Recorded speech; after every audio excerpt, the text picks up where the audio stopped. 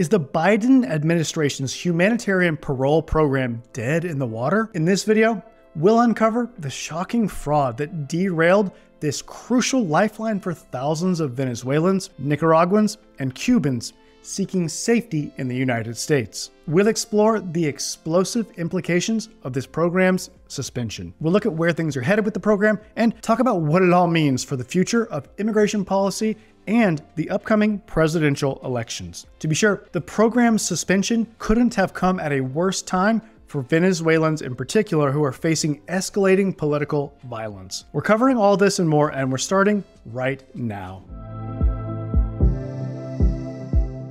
I'm Brian Manning, and I used to be an asylum officer with the government, but now, as an asylum lawyer, well, I help immigrants all over the country to secure their future in America through asylum. Let me know in the comments if you've got an asylum case pending, or maybe you're considering applying. And listen, I'd especially like to hear from you if you've been waiting for multiple years for an asylum interview with USCIS. Let me know in the comments how long you've been waiting. The Biden administration's humanitarian parole program for Venezuelans, Haitians, Nicaraguans, and Cubans was a beacon of hope for thousands of people. But as with many immigration policies, it's hit a major roadblock. And today, we're breaking down this program, its recent pause, and the potentially explosive implications of it all. Let's start with the basics. So, the program, officially called the Processes for Cubans, Haitians, Nicaraguans, and Venezuelans, known by its acronym CHNV, was designed to provide a safe, legal pathway for nationals from these countries to enter the United States. Now, up to 30,000 individuals per month could receive humanitarian parole, allowing them to live and work legally in the United States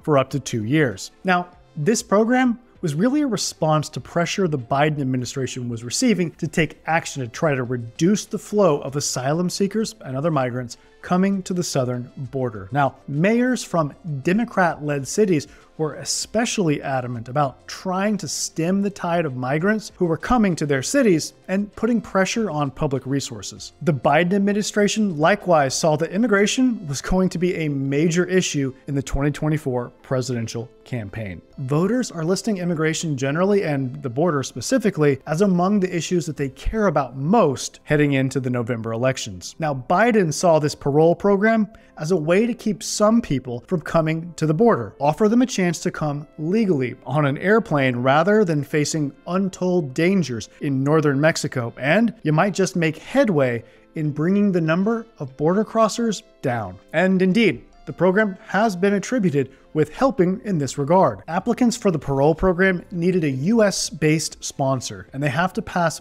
background checks and also meet other requirements, including vaccinations, and travel documentation. They also have to cover their own travel expenses. Now, contrary to misinformation being spread by Republicans who are seeking to whip up and leverage anti immigrant sentiment, the United States government is not paying to bring anyone here. The parole program faced criticism and a legal challenge from Texas and 20 other Republican led states, who were claiming that it caused them financial harm. Now, however, a U.S. district judge dismissed the lawsuit, noting that the states failed to demonstrate actual financial harm, which is a necessary component for legal standing. The judge's ruling highlighted a key point that really undermines arguments against the program. The data showed that the parole program actually did reduce the number of migrants crossing into the US. And this finding directly contradicts claims that the program contributes to illegal immigration. By the way, if you want to maximize your chances for asylum success, then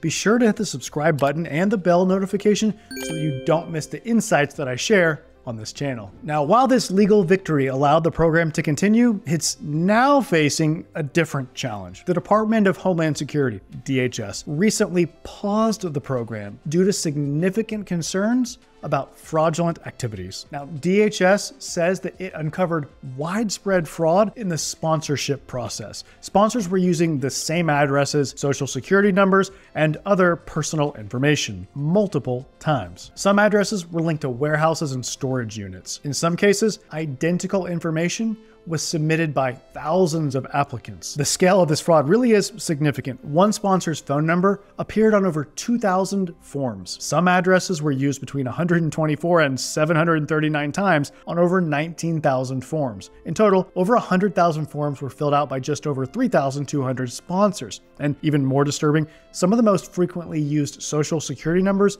belonged to dead people. So yeah, it does look like there was a lot of fraud. Sponsors in the United States were abusing the program undoubtedly for financial gain. So in response, DHS paused the issuance of new travel authorizations to review and address these fraudulent activities. The pause initially affected only Venezuelan applicants in early July, but it was extended to applicants from the other three countries, Cuba, Haiti, and Nicaragua by mid-July. So at present, no new travel authorizations are being issued. The program has come to a halt. And now the big question on everyone's mind is, well, Will this program be reinstated? And if so, when? So the good news is that it sounds like DHS does plan to start the program up again. Unfortunately, though, there's no clear timeline for when that might happen. Now, DHS Secretary Alejandro Mayorkas has stated that the program will in fact resume processing applications, quote, as swiftly as possible, but with necessary safeguards in place to prevent future fraud. The department is currently reviewing applications to implement these safeguards, but you know, this process takes time. They're likely developing new verification procedures, enhancing their fraud detection algorithms, and also potentially restructuring parts of the application process. While the Biden administration aims to restart application processing quickly, they're walking a tightrope between speed and security. It's worth noting that DHS has emphasized that while the vetting of US based sponsors revealed issues, the screening and vetting of the migrants themselves did not show concerning issues. This distinction suggests that once the sponsorship fraud is addressed, program could potentially resume relatively quickly. However, the political climate could influence the timeline, with both major parties, the Republicans and Democrats, focusing on immigration in their campaigns, there might be pressure to either expedite or delay the program's reinstatement, depending on how it's perceived to impact voter sentiment. Now, here's where things get really complicated. This pause could not have come at a worse time, especially for Venezuelans. Venezuela is currently experiencing a new level of political turmoil that could lead to a humanitarian crisis of staggering proportions. The Maduro led government has committed massive fraud in recent presidential elections and appears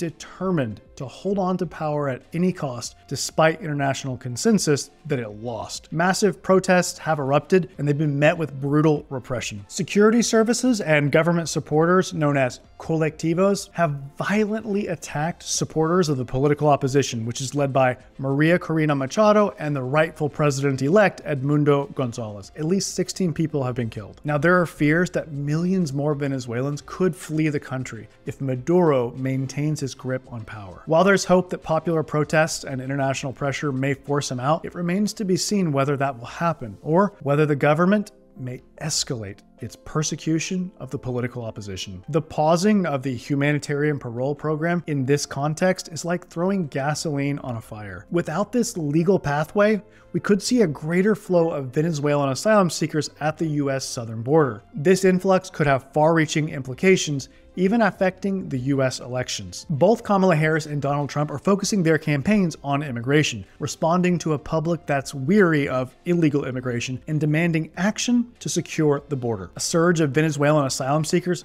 could become a political powder keg, potentially swaying voter sentiment and shaping immigration policy for years to come. As a former asylum officer, I can tell you that this situation is deeply concerning. The humanitarian parole program, despite its flaws, provided a crucial safety valve. It offered a legal, orderly pathway for those fleeing persecution, reducing pressure on the asylum system and deterring dangerous border crossings. Without this program, more Venezuelans fleeing political violence may feel that they have no choice but to attempt risky border crossings. Now, this not only puts their lives in danger, but also strains border resources and fuels the very illegal immigration that many Americans are concerned about. The fraud uncovered in the program is undoubtedly serious and needs to be addressed, but the wholesale suspension of the parole program could have dire consequences. It's crucial that DHS work quickly to implement safeguards and restart this parole program. If you're ready to take the next step and get help with your asylum case, then call my office today. That number is 713 909 0401. And remember, we help people all over the country, so it doesn't matter where you live. Call us right now to schedule an asylum strategy session so that we can help you to secure your future in America through asylum. Again, I'm Brian Manning, and it's truly an honor to support you in your asylum journey.